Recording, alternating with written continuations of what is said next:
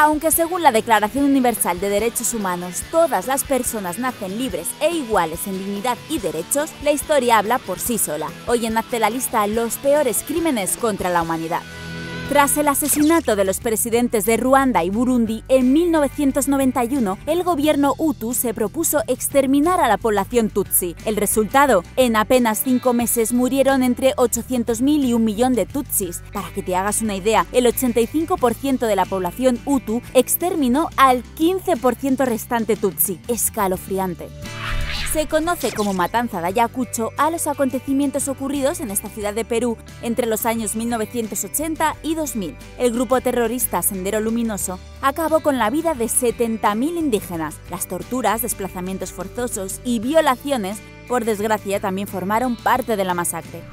Probablemente la primera vez que se empleó la palabra genocidio fuera para describir el horror armenio que tuvo lugar entre 1915 hasta 1923 bajo el régimen turco de Talat Pasha, entre un millón y medio y dos millones de civiles fueron asesinados para evitar la formación de un Estado armenio independiente.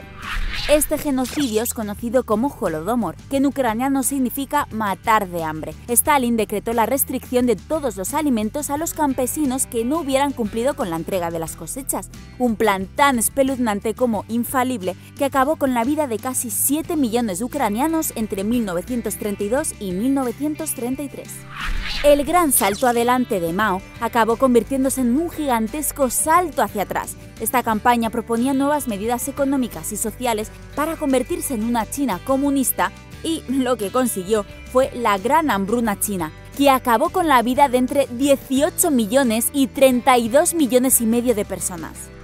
Lo conoces de sobra, pero lo que quizá no sepas es que el holocausto de Hitler no solo acabó con la vida de 6 millones de judíos, en su punto de mira también se encontraban la población gitana, los discapacitados y los homosexuales que eran marcados en los campos de concentración con un triángulo rosa.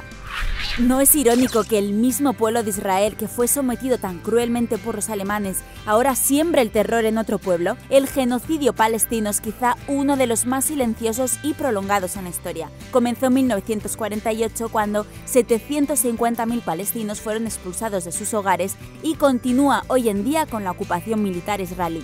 Horrible. Como ves, el ser humano es el protagonista de algunos de los sucesos más vergonzosos de la historia. En nuestra mano queda no olvidarnos de aprender de los errores.